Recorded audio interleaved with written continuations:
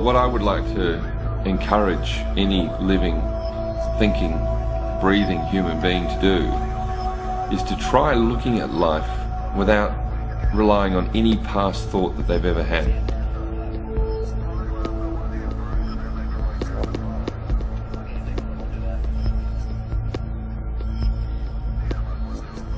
Forget the past, because the past is an accumulation of thoughts that builds a, a network, a link bunch of things from your life experience.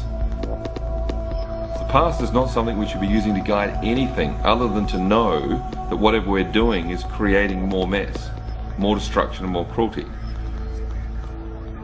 So, in knowing that, isn't that a good enough reason to not go back into it and to completely imagine it, just temporarily, just sever the past from your mind,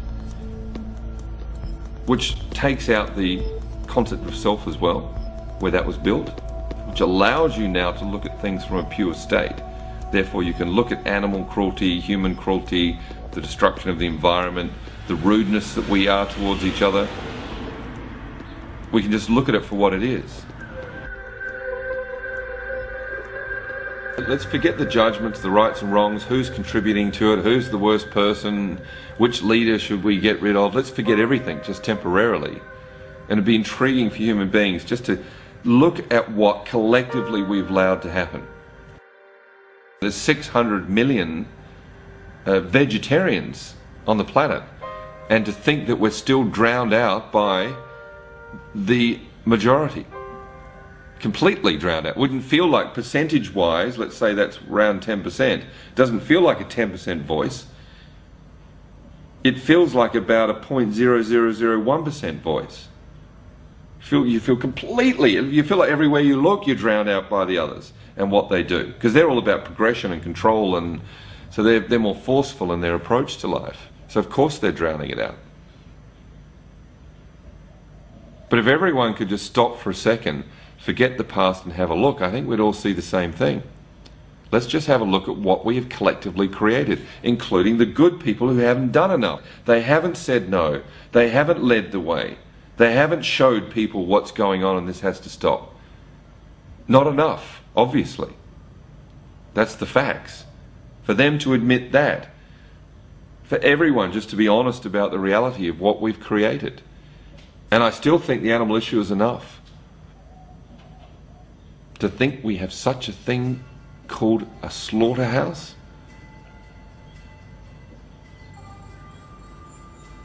Where people are employed to grab an animal, use electric prods to force it to go where they want, to jam bolts in their heads, to slice their throats up, hang them from chains, and watch them die as blood drips out of their throat and their legs kick desperately. To think that even exists in the numbers that it does. We're not talking about there's a few bad people around that do that. We're talking about this is the norm.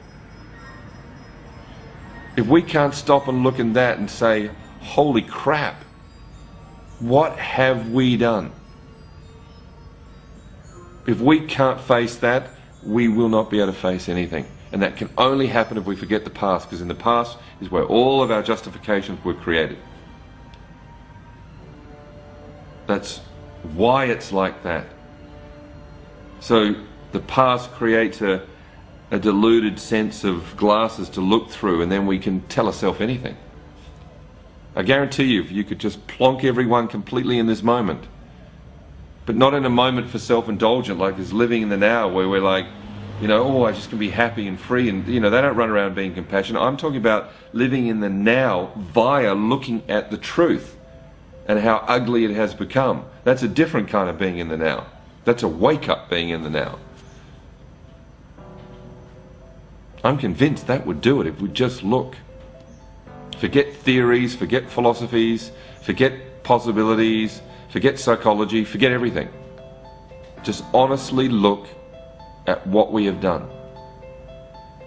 Because I think deep down everyone cares, because you can see they care for certain things. So the caring is there. They, they would like to care. They would like to be loved. They would like to give love. Every living being, you can see that. Every animal, you give it a chance to be loved, it just laps it up. It loves it and it loves the whole process. Everything does. But we'll never ever feel that or share that if we're not prepared to look at the insane cruelty that we've created on this planet. Statistics show that as many as 140 billion animals are killed every year for human consumption as food, clothing, entertainment and research. The overwhelming majority of these animals are forced to live in horrendous conditions. Yet even those that are so-called free range or raised on organic farms are still subjected to be killed against their will. No living creature wishes to die. And death is arguably the greatest fear of any human. Yet we subject 3 billion living creatures every week to our most feared fate. We unnecessarily feed and clothe ourselves and our children with the products of cruel and violent habits.